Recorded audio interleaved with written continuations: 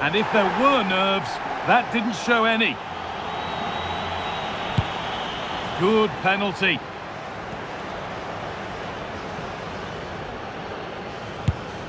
Oh dear, that's embarrassing. A very poor Panenka. A failure from the spot, a triumph for the keeper.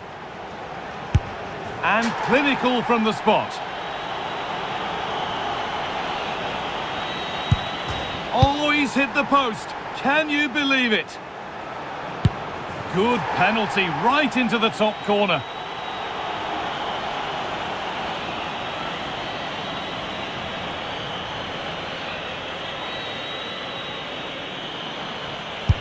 And it's been put away.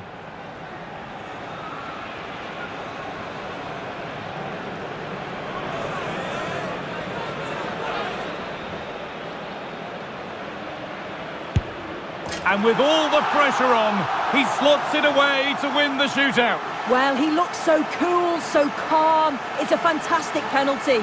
And I think they probably just about deserved it too over the course of the game. Had the better of the play on the whole.